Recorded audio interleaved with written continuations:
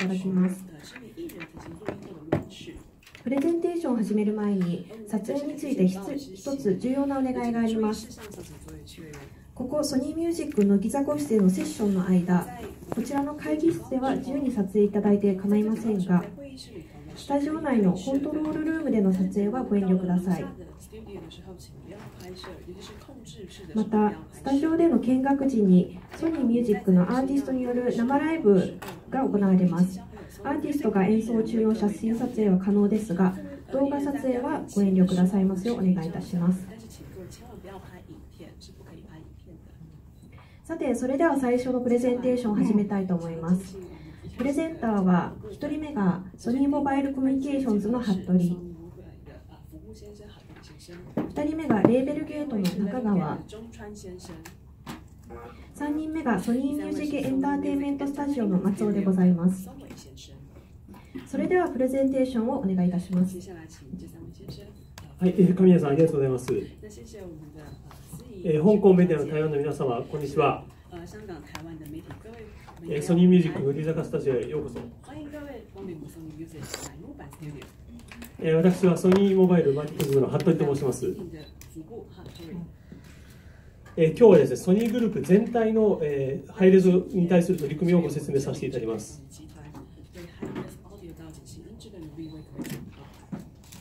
えー、まず私からエクスペリアからの取り組みについて説明させていただきます。ソニーグループは全体としまして、ソニーはハイレゾ、ソニーはハイレゾというテーマでマーケティングを行っております。ここにもソニーはハイレゾ。我々ソニーモバイルも、えー、エクスペリアといえばハイレゾ、エクスペリアといえばハイレゾと思っていただけるようにマーケティングを行っております。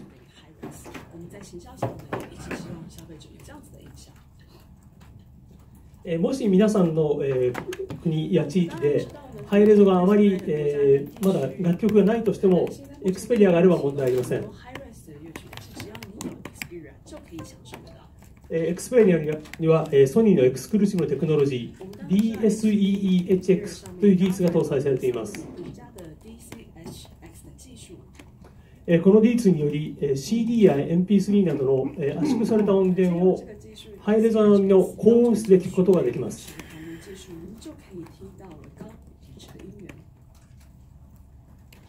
え皆さんは、え日本において、えハイレゾ対応のエクスペリアが一体これまでどれぐらい売られたと思いでしょうか？ご覧のようになんと1100万台もですねこれからこれまで売られているんです日本において十分な数のハイレーゾ対応のエクスペリアが普及していることをご理解いただけると思います。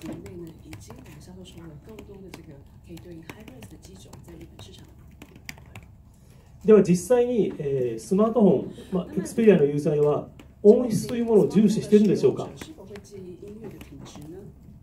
我々の調査によりますと、えー、エクスペリアで音楽をよく聴く人の45%がスマートフォンを買うときにえ高音質音楽があることを重視しています。また19%約2割のお客さんがハイレゾの音楽を聴けるということをえスマホを買う際の重要な点として考えています。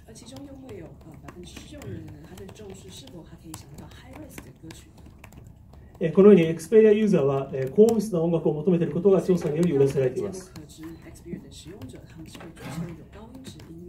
一方ですね、このちょっと薄いブルーのところは競合の A 社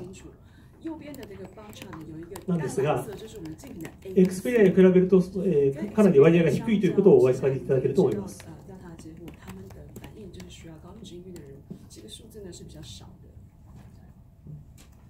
えー、我々ソニーモバイルは日本においてテレビ CM で一貫してハイレゾをテレビ CM で、えー、訴求して訴求し続けてきています。でこここで2015年からのです、ね、テレビ CM を一気に振り返ってみたいと思います。こちらのテレビ CM をご覧ください。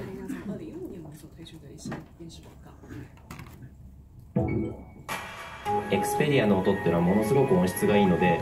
細かい音のニュアンスまで聞き取れて気に入ってますだから私はエクスペリア。Au Xperia Z5 いい音をもっと。繊細な音力強い音全てを聞きたいから私はハイレゾ推しです。だから私はエクスペリア。ドコモ Xperia X Performance 臨場感をもっと。ハイレゾは音がいいのでアーティストの気持ちまでも感じられるそれが魅力です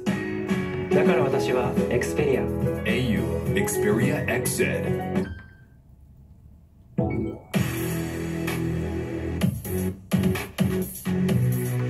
いい音だとめっちゃテンション上がりますだから私はエクスペリアドコモ Xperia XZ はい、えーいかがでしたでしょうか？えーこの、えーテレビ CM に使われる曲は Voices という曲です。さまざまなアーティストがさまざまな、えー演奏を、えーやっていることをご覧いただきたいと思います。で実は、えーこちらの、えーモモーラーですね、このハイレゾの楽曲をダウンロードできるようにしたところ、非常に高い人気を得ております。那是提供高解析音乐下载的数位平台，这边就是可以看到。また、えーこの、えーこの音楽をもとに特別なミュージックビデオを作りまして、えー YouTube で配信したところ、これらいろんな種類のミュージックビデオを合わせて、なんと、えー200万回近くもですね、再生されています。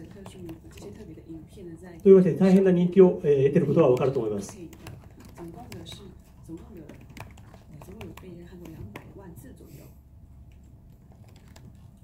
その他にもですね、もう少し、えー草の根の活動として、我々ソニーモバイルは、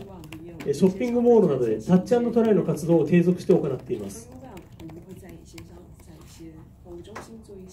その中でこのようにですね、ハイレゾを実際に聞く、体験を皆さんにしていただいております。そして累計でこの実際にハイレゾを体験したお客さんはなんと3万人に達しておりますまたその曲自体も3万人左右。えー最新のものから、えー昔の人,、えー人が好むようなもの、さまざまな世代、さまざまな曲を用意して、えーお楽しみいただいています。また、エンドユーザー向けのプロモーションも、えー継続して行っておりますえー日本で Z- Z4、えー皆さんの国では Z3 プラスのローンチの時には、モーラクーポンをエンドユーザーにプレゼントするキャンペーンを行いました。また最近では、えー大手オペレーターのドコモのオンラインショップで、モーラのミュージッククーポンの配布を開始しております。まあこちら販売を開始しています。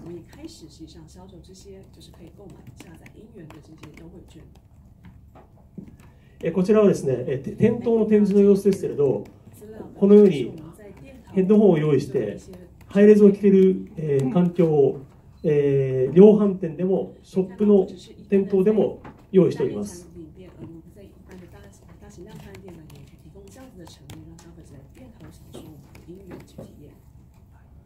えー以上、さまざまな活動を通じて、えーエクスペリアがハイレゾの普及に貢献していることをご理解いただきたいと思います。这样的活动，通过这样的活动呢，来推广我们的 High Res 的音源，相信各位可以通过我的解释中理解。えー最後に、ソニーモバイルは今後も2つのことを継続、えーしてまいります。我会再提到 Sony Mobile 将会提出对消费者提出哪项的承诺。一つは、えーエクスペリアの拡販によって、ハイレゾ音楽マーケットの広がりに貢献すること。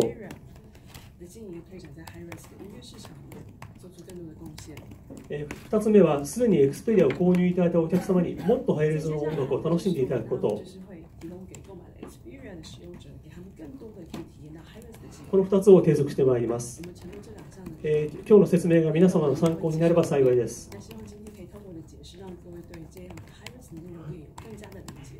どうもありがとうございました。谢谢各位的聆听。え続いて、レーベルデートの中川さんから、えーモーラについて説明いただきます。お願いします。はい、えー、ダジャーハオ、もし中川。は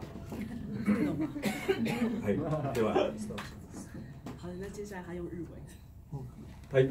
えっとですね、国内のえっとモーラーという音楽配信サイトですね。是的，我们在日本国内有一个 Mora 的音まあ、いい音楽をいい音でというふうなキャッチコピー、コンセプトでやらせてもらってますが、